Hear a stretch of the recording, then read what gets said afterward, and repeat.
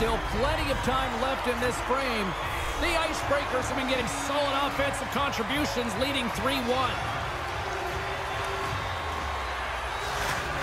Chubak's won the draw deep in the defensive zone. Sends it quickly to Cappy. Can't connect. They go on the attack through center. Levels him with the hit. Under siege, trying to get it out of their zone. And that's a big fail on the clearing. Scores his second of the game. Now, here's a little math for you, James. One's good, two's better. He finishes off this opportunity, and now it's a great night.